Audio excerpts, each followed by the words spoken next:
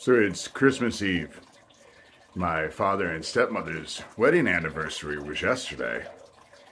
There is a reason why Lucien Greaves, founder of the Satanic Temple, went out of his way to convince me that my stepmother was dead because she was hand in hand with my father um, going after kids, abducting them, and hurting them. But that's what this the leader of the Satanic Temple does. I mean, he'll call me a liar and tell everyone I'm crazy.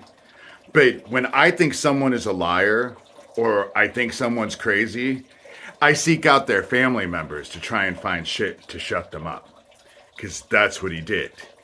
And my family's involved with a lot of bad shit. And Doug has gone out of his way to try and make that all go away. That has been my experience with him. And probably other people have had the same experience. Ever since they blew up that gas station, I moved away from there, came to Harlan. Since I've lived in this house, the library and the librarian tried to hook me up with a 17 year old telling me they were so hot. They actually hired me, but there was a huge issue because I didn't want keys. I didn't want keys to the library. That became a huge issue, but I still got hired. But then the day that I filled out the paperwork to find out that the copy of my social security card and my driver's license was sitting on the front desk for everyone to see was when I threw a fit. So we have that. Then we go to the fact that Derek Yamada, who was Harlan's chief of police at the time, came into my house, sat for an hour and a half having a conversation with me in front of a video camera that was right over my head. And I have all of it on tape with him lying to me and telling me that the people who were after me, who have been harassing the shit out of me, oh, they lost their kids to meth and, and, and they're no big deal and all of that. I have that on tape. Then the next weekend, he sent his deputy over that was a woman who was trying to connect me to those very people, saying that they left prescription drugs in their car and they got stolen in the middle of the night and wanted to know where every single one of my cameras was focused. And uh, I have that on my ring camera.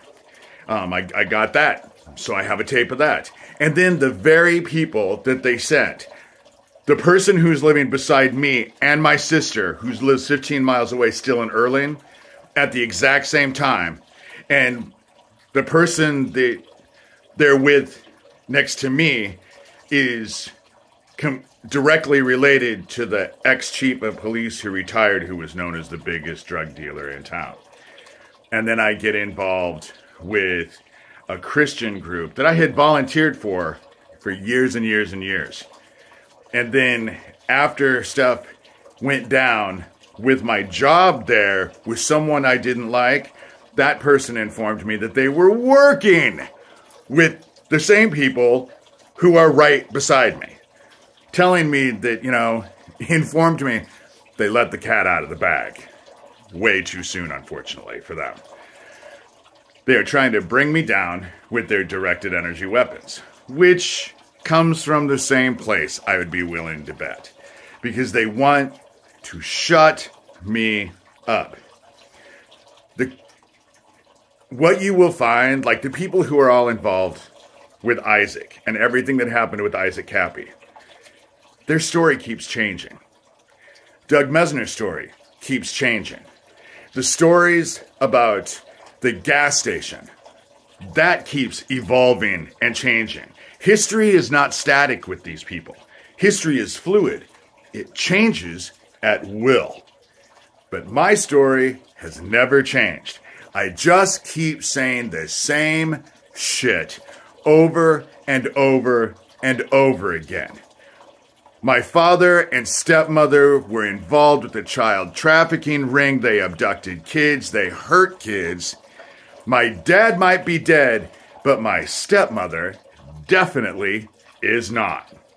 And so, and there is no, when you unalive someone, there's no statute of limitations to that, you know? But if you want to know about my family, go ask Lucien Greaves, founder of the Satanic Temple. He's more than willing because he's reached out to all of them because that's what you do. But again, Ohio, how many satanic after school daycare programs are in the schools in Ohio where there's a thousand kids missing? Ask yourself that, you know? But it's Christmas Eve. Of course, they're trying to bring me down. It's Christmas. But uh, I'm still here. I'm still talking. And unlike them, my story never changes. I keep saying the same shit over and over and over and over and over. And it never changes because the truth doesn't change and the past doesn't change. At least that's what I have found. We live in unprecedented days. Maybe the past is fluid, you know? Maybe. Nope, I won't even say it. All I'm going to say at this is Merry Christmas.